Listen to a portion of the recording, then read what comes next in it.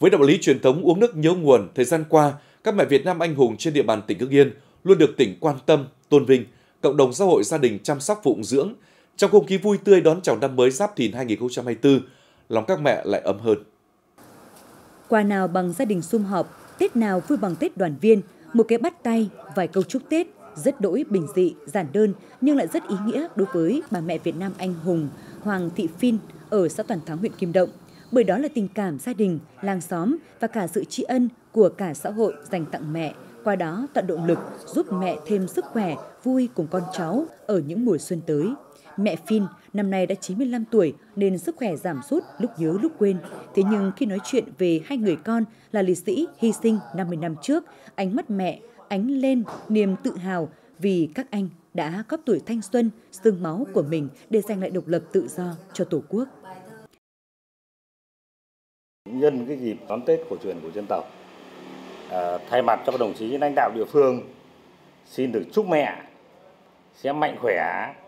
và luôn là cái chỗ dựa cho các con cháu trong gia đình và để làm một niềm tự hào của địa phương. Cảm ơn tất cả lãnh đạo đến thăm hỏi tôi thế này thì tôi rất là phấn khởi. Thêm một mùa xuân ấm áp, yên vui dành tặng mẹ, bà mẹ Việt Nam anh hùng đã kiên cường đi qua chiến tranh và những năm tháng cơ cực nhất của cuộc đời như để bù đắp cho quá khứ đã hằn kín nỗi đau. Mỗi mùa xuân hôm nay thực sự là một mùa vui khiến trái tim mẹ được sưởi ấm một cách trọn vẹn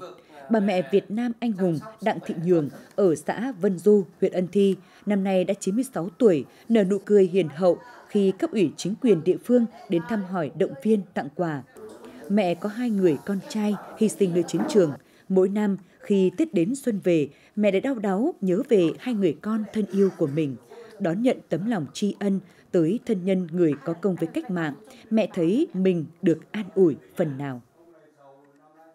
Gia đình nhà tôi cũng thấy à, rất phấn khởi là được các à, đoàn thể quan tâm đến à, cụ tôi. Chúng tôi thì ở địa phương ấy cũng rất tự hào là còn được phụng dưỡng một bà mẹ Việt Nam anh hùng vận động đấy cùng với kết hợp với cả các cái quỹ đền ơn đáp nghĩa của đảng nhà nước. Xây nhà tình nghĩa tặng mẹ các cái ban ngành đoàn thể mặt trận tổ quốc của huyện phụng dưỡng mẹ suốt đời gần 2.300 bà mẹ Việt Nam anh hùng của tỉnh Hưng Yên xứng đáng với 8 chữ vàng Chủ tịch Hồ Chí Minh từng khen tặng cho người phụ nữ Việt Nam anh hùng, bất khuất, trung hậu, đảm đang. Những người đã từng nén đau thương, gạt nước mắt, tiễn chồng con lên đường làm nhiệm vụ thiêng liêng bảo vệ Tổ quốc. Tổ quốc ghi công con liệt sĩ, nhân dân nhớ nghĩa mẹ anh hùng. Dù năm tháng đã qua đi, nhưng sự hy sinh vô cùng to lớn của các bà mẹ Việt Nam anh hùng mãi mãi được thế hệ con cháu khắc ghi.